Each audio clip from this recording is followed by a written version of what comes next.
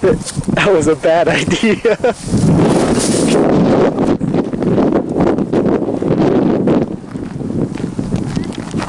We did just catch some spots. I don't I'm sorry. I knew what was gonna happen. Should have put the wind in to Dude, consideration. there's a day in your car, Johnny.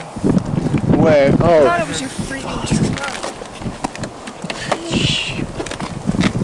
truck. now you gotta go buy me for sale sticker, dude.